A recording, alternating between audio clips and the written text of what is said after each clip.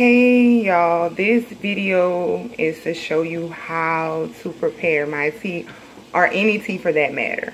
So, of course you're going to use glass jars because plastic is poison.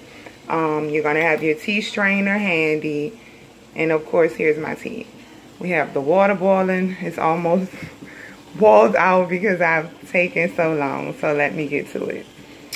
We are going to use, well for my tea blends, and make sure you shake it first, but because it's a blend, everything will kind of fall to the bottom, so you want to make sure you shake it. So I'm going to use a teaspoon, a heaping teaspoon. I mean, not, yeah, teaspoon.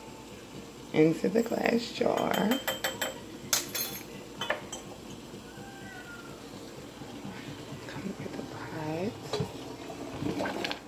I'm going to pour the water over the tea. And you have to be quick because all of the medicine is now beginning to whew, fly out. So we're going to let it steep for about 10 to 15 minutes. Which I'm not going to actually wait that long. Because um, this is a video and I'm just trying to show you how to make it. So I've actually prepared another tea that has been steeped for 10 minutes.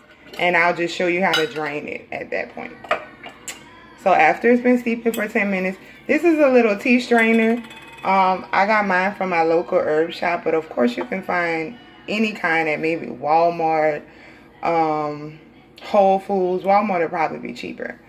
So you'll just take the herbs, the tea that has been sitting here for about 10 to 15 minutes you'll pour it over so that the tea strainer catches all of the herbs. And now you are ready to drink your tea. And also there are a lot of people inquiring about what to sweeten it with. Organic amber raw agave. But this company is the only one that does not use a processing method. So this is the only true raw kind. So you want to use this one.